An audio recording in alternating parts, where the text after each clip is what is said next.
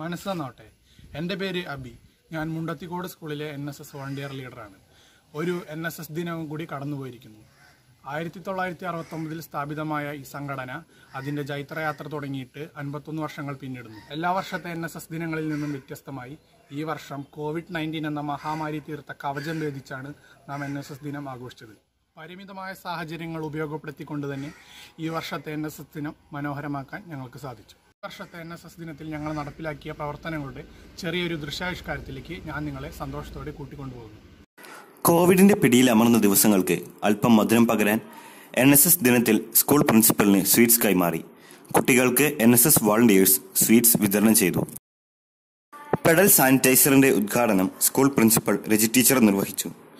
Plus two say പരീക്ഷകൾക്കും മറ്റ് ആവശ്യങ്ങൾക്കും വരുന്ന കുട്ടികൾക്കും രക്ഷിതാക്കൾക്കുമെല്ലാം ഏറെ ഉപയോഗപ്രദമായ പെഡൽ സാനിറ്റൈസർ പുതിയ ഒരെണ്ണം കൂടി എൻ എസ് എസ് വളണ്ടിയർമാർ നിർമ്മിച്ചു നൽകി. നിരാലംബരായ അമ്മമാർക്കും കുഞ്ഞുങ്ങൾക്കും സുരക്ഷിതത്വത്തിന്റെ തണൽ ഒരുക്കുകയാണ് മായന്നൂരിലെ തണൽ എന്ന സ്ഥാപനം.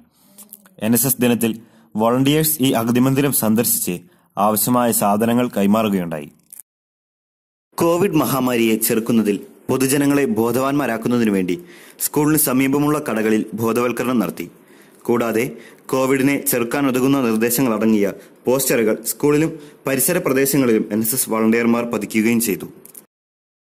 സ്കൂൾ ശുചീകരണത്തിന്റെ ഭാഗമായി സ്കൂൾ ഗാർഡൻ ക്ലാസ് റൂമുകൾ സ്കൂൾ പരിസരം എന്നിവ എൻ എസ് എസ് വളണ്ടിയർമാർ വൃത്തിയാക്കി.